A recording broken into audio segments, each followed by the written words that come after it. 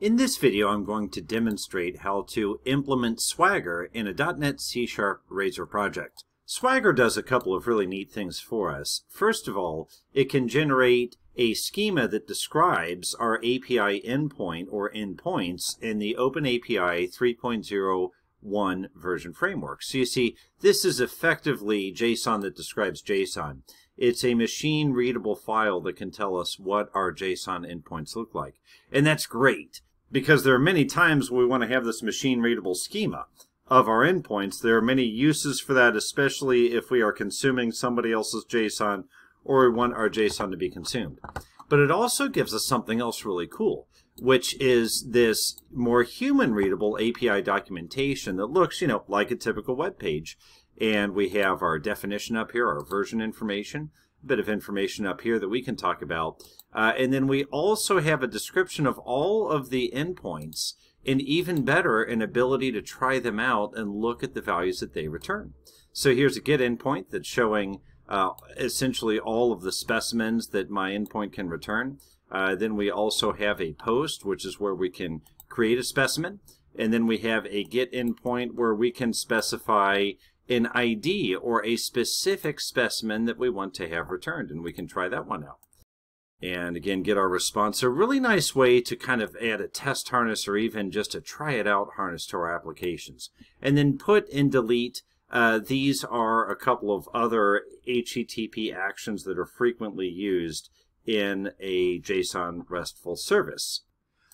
To do this, I'm using the Swashbuckle ASP.NET Core library, and I will say that I borrowed a lot of their documentation, tried it out, and then enhanced it a bit myself. So I want to give full credit for them because you'll see that uh, a lot of my demo here came straight from their documentation, plus integrated into my project with a few other enhancements. If we've not done so already, we'll need to manage our NuGet packages and add our Swashbuckle core uh, ASP.NET Core class. So simply go up to our project, right click, and choose uh, Manage NuGet Packages. And this interface will come up. Now, I have already installed it uh, as I was working through this demo, but swashbuckle.asp.NET Core is what we want to have installed. So if you've not, if you have installed it, you'll see it here under Installed. If you've not installed it, uh, go to Browse and simply enter swashbuckle ASP.NET Core. Okay, here we go. Uh, you notice mine actually has a little X up here indicating it's already installed and I could remove it if I want. If I hadn't installed it, we'd see an arrow like this. And you'll also see several uh, items with similar names, but the only one you need for our example is that swashbuckle.asp.NET Core. Install that, and then you're ready to go. Next, we need to register Swagger with our application, which is actually fairly straightforward.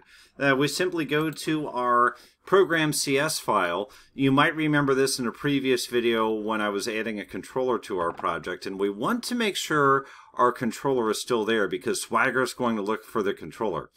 So for the controller, we're going to need these two lines, uh, Builder Services add controllers and Builder Services add endpoints API Explorer, and also this app.map controller route. So in, I know I didn't cover those in this video, I covered those in the previous one. If, you, if you're not familiar with those, I'll just point you to the video where I talk about uh, adding a controller to a C-sharp Razor project.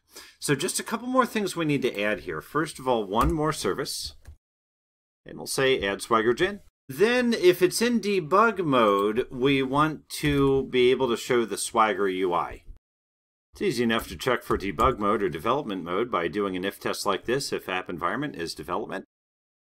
And simply add these two lines, app, use Swagger, app, use Swagger UI, and at this point we're ready to deploy and take an initial look at our Swagger environment. Now with Swagger configured, I've deployed my application and I can view the Swagger UI simply by going to the uh, root localhost and then the port number and then slash swagger and it brings up this documentation automatically. One cool thing is it also lets us see the JSON file that was generated and this JSON file is effectively describing our API endpoints. And that's handy if we want to consume it uh, by another computer or even if we just want to take a look at that configuration. But if we want to look at it as humans, we can use this fancy Swagger user interface, which shows us the HTTP actions that we can invoke here. So Get is usually to read something, post to create something, put to update something, delete to delete something. These are HTTP actions that have existed for a long time, but they're ones that we are able to reuse when we're using our RESTful JSON services. So get, let's see if I expand this one. Uh, okay, no parameters required because this is a get that's just going to return everything to us. So I can say try it out, execute. And then we see a list of all of the specimens that my controller is making available to me. Now I'll grab just one of these. We'll say uh, dwarf, dwarf crested iris because I know I'm going to need that in just a minute. So we go down to our post and notice that our post is giving us an example request body based on what it sees the schema looking like. And no surprise, this looks a lot like one of our specimens. So I click try it out and I can go ahead and paste in that specimen JSON that I got from the get and I can choose execute. And nothing crazy is going to happen here because we didn't do any implementation on the server side beyond just receiving this message. But you see, it does return to us at 200, which is success. Now, the get down here is a bit more interesting than the, the, get we saw up above because the get down below allows us to specify a number which is captured in that curly ID close curly. And that says, okay, give me just the item at this location.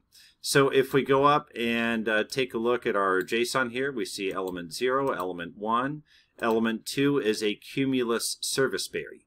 So if I go down to my get and I just pick, say, element number 2, it should return to us only one element, and that is, sure enough, the cumulus service berry. I could try it again with a much higher number, say 12, and that should give us a different plant. Sure enough, the Calycanthus floridus or Carolina allspice. Now we keep going and we'll see that we have the put. Uh, put, we need both an ID and a uh, and a request body, which represents the JSON we want to put somewhere. So put is typically an update operation. There again, we're dealing with read-only data here, so we should probably get back a 200, but it's not actually going to change anything in our feed. Then for a delete, uh, delete, we don't need to provide it any JSON really. We just need to tell it the item to delete, which in our case, I'm just going to say number five. Uh, but there again, we know it's not actually going to delete anything. It could. That's just beyond the scope of this video. My controller is simply receiving the put, uh, the, the, the post, the put, and the delete, and not doing anything with it. But uh, nonetheless, that'll give you an idea of what this user interface will look like. This gets really handy, especially when you get very large collections of endpoints and you want to remember which is which. It's common to generate this kind of Swagger doc and then make it available to an entire enterprise on, you know, an intranet site or something like that, or even uh, if it's a public publicly accessible API, make it available somewhere on the internet.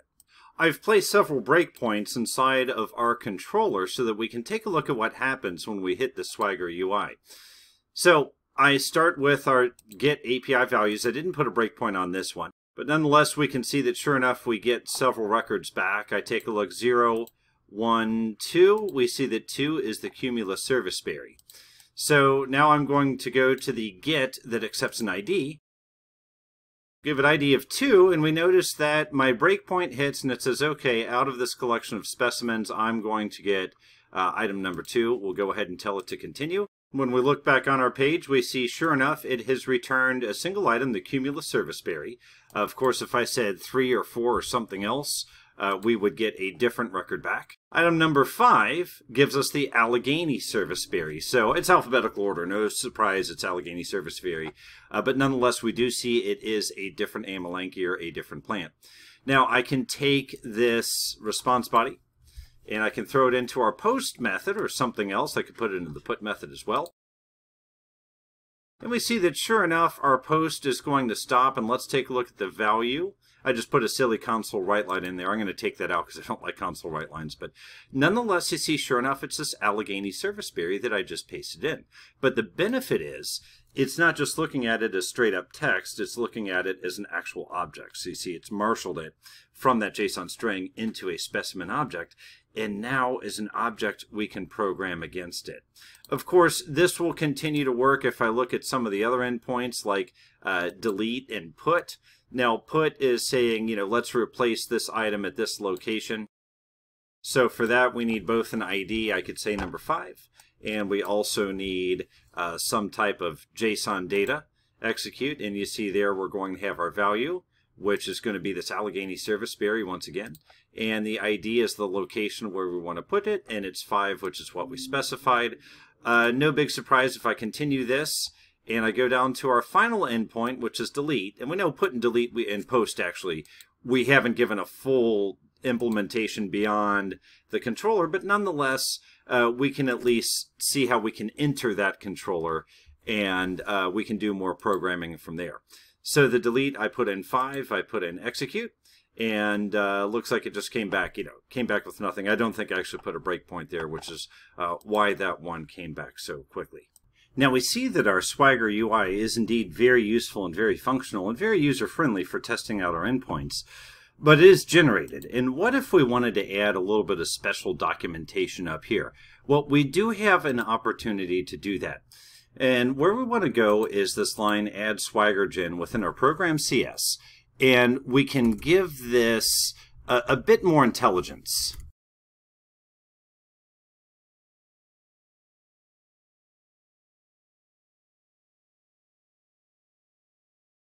Within our Lambda, we have options.swaggerdoc. We're giving it a version of V1, and then we're giving it some open API info. We're saying version V1, title specimens API, description, a web service that shows specimens that are thirsty at the Cincinnati Zoo and Botanical Garden, and then a link for our privacy policy, and we could have terms of service in there as well.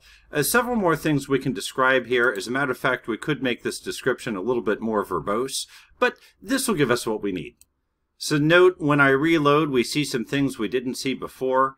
Uh, we see a version v1, we see the description, uh, a web service that shows specimens that are thirsty at Cincinnati Zoo and Botan Botanical Garden. We also see a title, Specimens API, and we see a link to the terms of service here, just like so.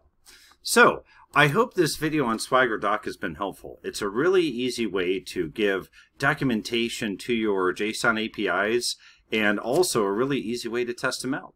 As always, I hope you found this video helpful, and I look forward to reading your comments. Thank you.